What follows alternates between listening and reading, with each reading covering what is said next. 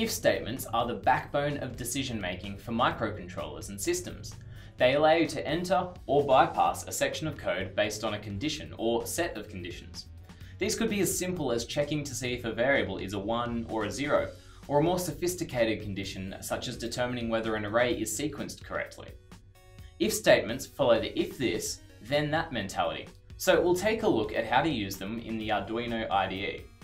We're going to be turning a simple momentary button that we've used previously into a toggle switch using code. Toggle switching allows for more complex tasks and doesn't require a huge amount of code. It's a good way to get started with using if statements as it highlights some of the decision-making elements to consider when using if statements. Not to mention that having a method for creating an efficient toggle switch is a great addition to any programmer's toolkit. Along with if statements, we'll be introducing a couple of new elements, such as variable modifiers and the very useful millis function. So let's take a look. Alright, so let's take a look at the code behind it. It's fairly straightforward and it follows some of the styling from previous code examples. We have our pin definitions up the top, where we're using LED pin as the onboard LED pin 13 and button pin for pin 2. You can change these to whatever you like, of course, if you want to use an external LED, that's fine too. Uh, some global variables here is we're using the variable toggle state, which will help keep track of whether our switch or our toggled state is a 1 or a 0 on or off. The last button state is so we can help remember whether the button was last pressed or released. Uh, long unsigned int. Now this is an unfamiliar one. You can see int is quite familiar, but this bit here, long unsigned, what's that all about? Well, that's called a variable modifier. Long essentially doubles the length of the int, doubles the size of a container. Instead of only being able to store two bytes, it can store four bytes of data in there, which is really, really handy. And unsigned touches on something that we haven't actually covered yet, unsigned removes the possibility for negative values within the integer. You see, within an int, or any variable for that matter that is a signed variable, let's say it's capable of storing 10 values for simplicity's sake. It can store 8 bits worth of data or 16 bits worth of data. Let's take 10. If it can store 10 bits of data all up, then half of those are going to be positive and half are going to be negative, which means you can only count to four or perhaps five, depending on how the system works, worth of data. You can only count up to that far, and then the rest is a negative variable. But we're going to be working here with time, and we're never going to have negative time. But it could be the possibility that we don't press the button for such a long time, it goes into that extra extra length of time that we've got. So it's the equivalent of doubling again the length of the variable that we can store. So that's long unsigned int. Very useful if you know you're only ever going to be dealing with numbers greater than or equal to zero. And then again, a standard integer variable is debounce time, which we're going to be using for debouncing our switch, and we'll get to that a little bit later on. So we've got void set up here, pretty familiar, pin modes to set our LED pin and button pin as outputs and input pull-ups as per the previous chapter. And then in the loop, this is where we get to the business end of the code, and it's not as complicated as it first looks. There's some comments here to help you sort through what's going on.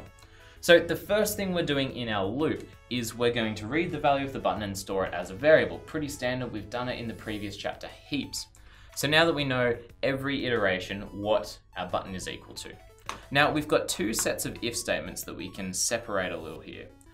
We've got this one and this one, and you'll see they're actually nested in yet another if statement. So we'll separate those a little bit more. So this if statement here is the state or the sequence of events that will happen if the button is pressed, if the condition is true that it's a press, and the conditions here for if the button is released. And then above this, we have another if statement here, which is using this function called millis, which we, we're not familiar with yet. So what is millis? Well, millis is a software timer that is specific to Arduino. It's an Arduino function, and what it does is it records the amount of time that has uh, transpired since boot or since the program was initiated. So you can use millis to keep track of timing specific things and use that to update other variables as a software timer. It's very, very useful. So what we're doing here is dealing with a property in switches called debounce or a phenomenon called debouncing or we're solving the bouncing issue using some debouncing if you will. So with a button, it's covered more in the All About Switches tutorial on our website, so take a look at that. But simply put, a button, like any mechanical object, has inertia, which means when you press it, whilst the contacts make contact with, uh, with the other side, there's a little bit of bounce in there because it travels, hits, bounces, and finally settles. The bigger the switch, the heavier the switch, uh, the more debounce there is going to be in that as well. So it's something to keep in mind. Now, ordinarily, if you were to use this with an LED, it would be happening so quickly you wouldn't even notice. But a microcontroller does, it's running fast enough. And because we're using it as a toggle switch, it will actually register all those individual little bounces that might be happening, you know, less than five milliseconds apart in total. It will register those as individual toggle presses, which is not good. We only want it to trigger when we truly press uh, and activate the button. So we're using a method that is similar to a low pass filter, if you're familiar with that. And all it means is we're getting rid of the noise, the high frequency noise that's happening. And we only want the events, we only want to do something on the events that are happening at a lower frequency. We're passing the lower elements of the signal. So what's happening here? Well, we've got an if statement. Now the if statement has two different, or a few different things in here actually. We've got a set of brackets which are used for separating different elements. So we can see here that we're grouping together millis, which is the time since boot.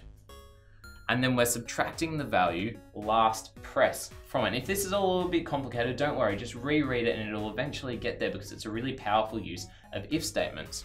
So millis minus last press. Now last press initializes at zero because we haven't defined it. So it's going to be zero. So millis, let's say that we run our program for 10 seconds before we press the button. That means that millis is equal to 10,000 milliseconds, because 1,000 milliseconds to a second.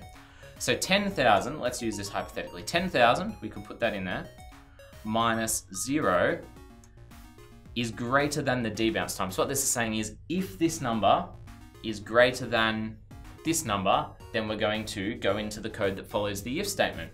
Now, if it's not, we're simply going to bypass that whole section of code and keep going. And what this allows us to do is we can use this to track how frequently our button is being pressed. And if we press it, we don't want to do anything with it until an amount of milliseconds has transpired so we can ignore all of that debouncing noise, or bouncing noise, I should say.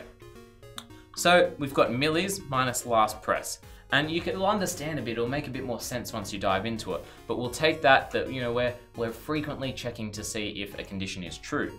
Then if it is, if the time, if millis minus the last pressed is greater than the debounce time, so enough time has transpired for the event to occur again, then what are we doing here? Well, last press is equal to millis. And what this is doing is it's just recording the time that the button was pressed and it's recording that time in millis. Millis is constantly updating. So now the last press is equal to millis. So let's say this was to all happen again, almost instantaneously.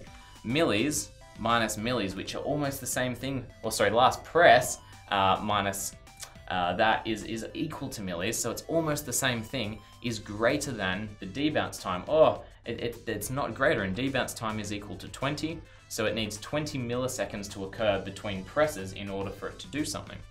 So that's the debouncing there. It's quite simple, but really, really efficient as far as Arduino goes because we don't have any inline delays which chew up our processing. Then in here, as I said, we've got these two levels of if statements, which are the really important parts. They're the heavy lifting which control the toggle action. So what do we have here? If button state is equal to zero. What's that using? The double equal signs there means is equal to. So we're using some operators here. And we cover operators more thoroughly in the next chapter, but these relational operators are used to check if one value is equal to, or if it is greater than, or if it is greater than or equal to different conditions like that. So if button state is equal to, because a single equal sign defines a variable, makes it equal to something, whereas double equal sign checks. So if button state is equal to zero, if it is currently being pushed down because that's active low logic, and the double ampersand here means and, so both of these conditions have to be true in order for something to occur. We could use an OR uh, relational op uh, logical operator, sorry, which would be if one of them is true, that's okay, but both of them have to be true. Because the reason for this is, so if button is being pressed low and the last button state is one, so that's checking if it is being pressed and the last time an action was recorded was it being released because otherwise we, would, we would just hold it down and that event would continually repeat and repeat and repeat. So we need a way of saying only when it's a push, only when it has been released and then we're pressing it again. Now what do we do here? We have a variable called toggle state, which initially is equal to zero. So toggle state is equal to zero. Now we've got this funny looking statement here. Toggle state is, uh, is equal to question mark, sorry, exclamation mark, toggle state. What's the go with that? Well, what we're using here is another logical operator. The exclamation mark is called not.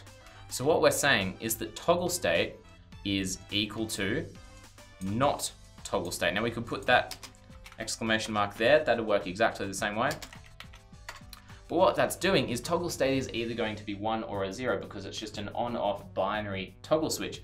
So which is saying if toggle state is zero, well, toggle state now is equal to not zero, which is a one. And if toggle state is one, it is equal to not one. So it's a zero, it just flips or inverts, toggles that value. Fantastic, so we toggle that and then we're writing that directly to our LED pin, which means every time a press is registered, it will turn the LED on equal to toggle state. And every time we press it, it flips toggle state. So one press it'll be on, the other press it'll be off. You could put a different event or you know function in here, but we're just toggling an LED for now. You could use it to count button presses, for example. And then we're recording the last button state, which is important. We're telling our program, yep, a press has been recorded. The next event has to be a release in order for another press to be valid. And then it will exit that loop there, that sorry, that statement, the if statement there. When it gets to the end of the curly bracket, all of your code goes inside the curly brackets. And once it's finished that, unless it's been told otherwise, it will keep flowing through the program. And it gets to here, if button state is equal to one, well, it's not equal to one because we've just said it's equal to zero because it's been pressed and that's happening so quickly, there's not enough time to press it and then release it in order for those to both become true. And last button state is equal to zero, which means if it has not been pressed, if it is open, which is right now, so we need another condition to make sure it's only open after a press. So if it is equal to one, if it is high, if it is not being pressed, and the last button state equals zero, which means it has just been pressed and is now being released, then all we need to do is put last button state is equal to one. Set last button state to one so that we can reset our condition to register the press. So as you can see, if statements are really useful, really powerful logic statements that we can use to control the flow of events. So let's wire up our circuit and test out our toggle switch code and see how it goes. So first of all, we're going to need a push button. That's all we're going to need because we'll be using the onboard LED. You can of course wire up an external LED as per our previous examples if you like, but I'm just going to be using a button. Right, so we'll put that in there. And that one into D2, so we just need two wires for this particular example. It's just using uh, circuit examples that we've used before, so check out the previous chapters for how these circuits work and some wiring diagrams. And let's connect our Arduino up to our computer so we can upload this program. Taking your USB cable,